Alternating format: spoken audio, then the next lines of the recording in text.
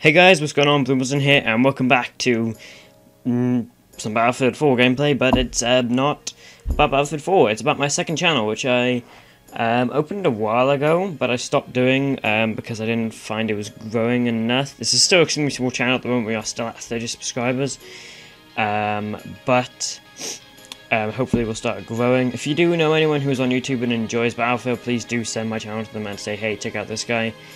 Um, and try and get them to subscribe. It would be much appreciated. If you don't want to, of course, you don't have to. Um, but please don't forget to subscribe. Um, but if you didn't know about my second channel, um, I did start it a while ago for Let's Plays and other things I didn't want to do on my first channel. Eventually I'll start doing vlogs and stuff when I get a big enough YouTube community. Um, but I didn't fully want to do it because I didn't have enough subscribers on there or this channel. Eventually, though, we have reached 30 subscribers. I think I started had like 24 or something, so we really picked up the number. Uh, six subscribers in like the amount of time it took me to get four when I first started. I'm not even joking, guys. It took me hours. Uh, hours took me months to get up to like six subscribers. Now instantly we've got to 30 in about two weeks. Um, so thanks a lot for that, guys. I mean, it does mean a lot to me. This is the most subscribers I've ever had. But before I moan on too long about that, uh, what I'll be doing on the second channel is um, I will start to do um, the Morrowind Let's Play. I'll continue. And one thing I always do when there's a new game that comes out that I've pre-ordered and I'm, I'm going to play, I always play the campaign first, get a feel for the game, know what it's like, um, learn things about different stuff like that.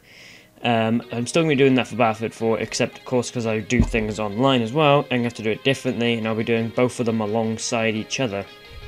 But first time I get the game, you guys have to excuse me for the second day after the game comes out.